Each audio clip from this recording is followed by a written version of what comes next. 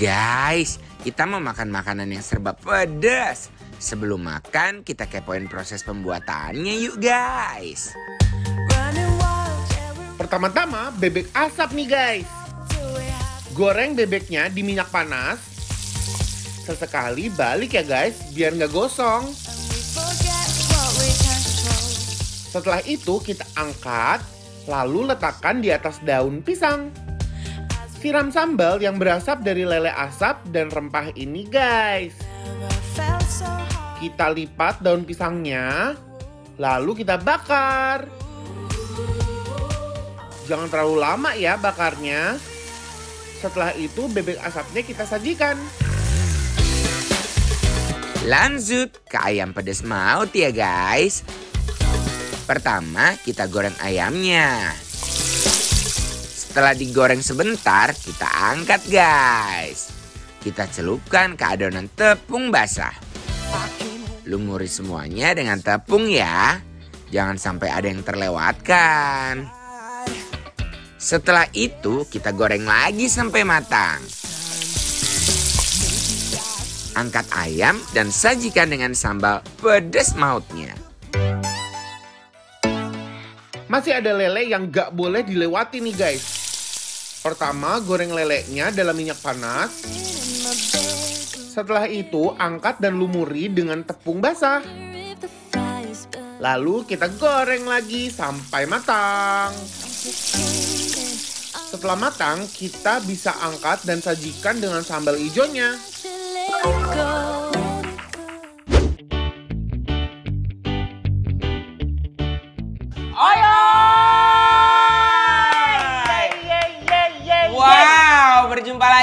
guys. Masih bersama kita Fami dan Gilang. Dan sekarang kita lagi ada di kota wisata. Dan sekarang kita mau makan di ayam, bebek, lele, goreng, bakon. Wow, Wow. panjang ya. Iya. Oke, oke. Ini ada bebek asap. Oke. Dibungkus sama daun ya. Oke.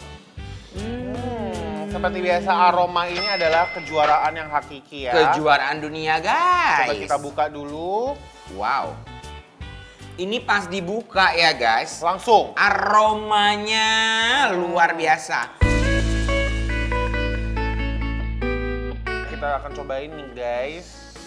Aduh aku deg-degan jujur. Jujur. Jujur deg-degan. Hmm, yuk kita cobain yuk, Yuk, langsung yuk. kita cobain ya. Guys, kita cobain. Ya. Bismillahirrahmanirrahim.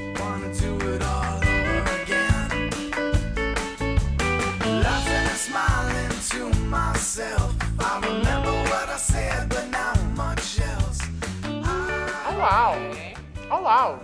Ini kempukan bebeknya. Parah. Harus di highlight banget nih keempukan bebeknya karena ini bener-bener juaranya awan. Bener guys. Gilang mau pedes nggak? Mau banget. Mau. Ini ada sambal. Oh.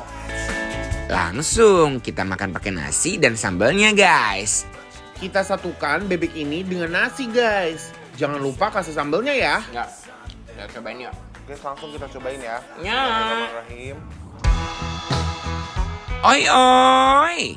Rasanya meletup-letup di lidah guys.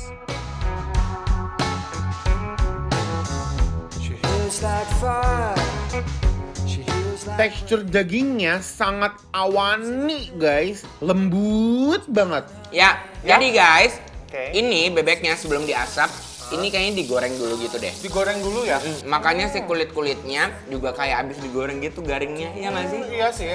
Ini enak guys. I love.